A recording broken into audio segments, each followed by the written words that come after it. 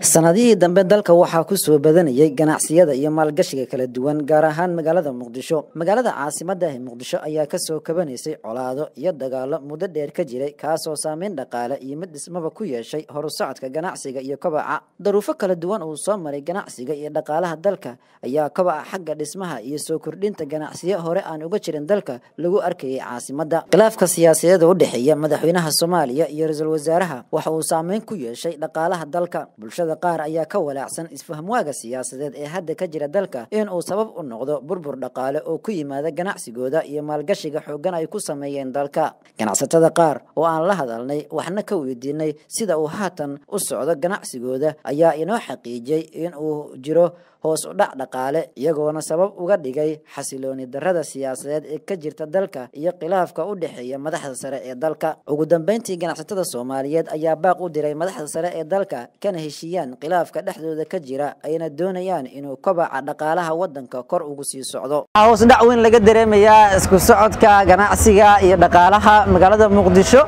waxaana loo aanaynayaa khilaafka sii daba dheeraaday ee u dhexeeya madaxweynaha dalka maxamed cabdulaahi farmaajo iyo weliba ra'iisul wasaare roble.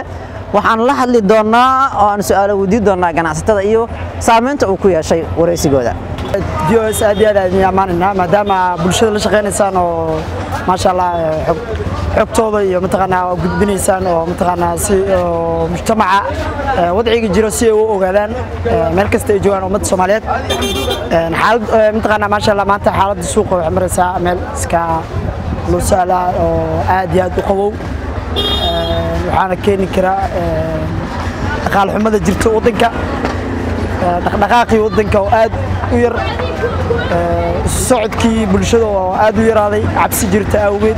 Siyaasadda haddii loo saamaynta ay ku leedahay ganacsiga aad iyo aad ay u weyn tahay oo u baaxid weyn tahay marka haddii ay ka hadalna tan arrinta ka dhexaysa madaxweynaha iyo ra'isul wasaaraha aad iyo aad ay noo saamaysay. Sababtoo markii uu buuqa madaxweynaha iyo problemkii ra'isul wasaaraha ee bilaabmay suuqii o dhan waa fadhiistay waxaa u moodaaba in ayaga hegayeen mataqana furaa u hayeen marka mataqaanaa aad iyo aad ayuu suuq u fadhiyaa hadda. Maalmahan dambe waaba mataqaanaa alloo sahal waa xaalkiisa. Wallaahi dhaniyo magaalada saameyn weyn bay u geystay.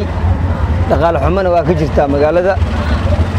Sababtoo annaga haddaan nahay qolada ka shaqaysata bajaajka suuq xumana waa jirtaa lacag la'aan baa beledka ka jirto.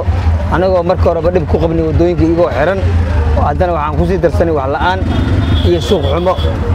Wallaahi dadkaasna iyagaa sabab u ah waddankan in oo wax la'aantan iyo inay waxaan ka dhacan saamaynta labadooda dhex martane koley xal ilaahay bay u taalaa waxay sidoo wax ku dhici doonana ilaah baa og.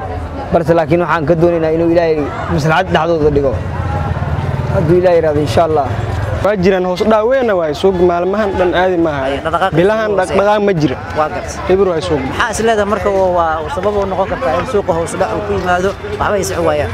Sababaha waaba u jeedaa doorasho doorashana waa lagu jiraa adi waa ogtahay maaho marka hoos dhaha inay keenayaan doorashadaas iyo hadda adi hata waa ogtahay khilaafna hoogaa madaxweynaha iyo ra'iisul wasaarena waa ku jira marka khilaafka madaxweynaha iyo ra'iisul wasaaraha soo kala dhexgalay ee sii daba dheeraaday ganacsiga soo saameyn ku yeeshay sax ha saameyn weynaa ku yeeshay maha saameyn weynaa ku yeeshay hoogaha markii xilligii ra'iisul wasaaraha iyo madaxweynaha heshiis ahaayeen hoogaha dhaqdhaqaaq fiicanaa lahaa hadduu ayaga iskhilaafeen khilaafkaasa waxaan dhan keeni maaho cabdisalaam wardheere v o s t v.